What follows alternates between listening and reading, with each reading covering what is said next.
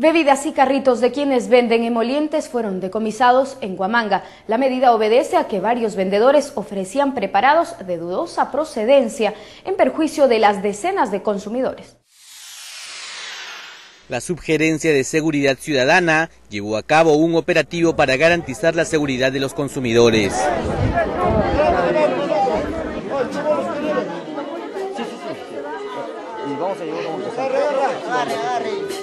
Se decomisaron ocho carretas de las vendedoras de emolientes de las zonas de Puente Nuevo, Asamblea y Bellido en Guamanga.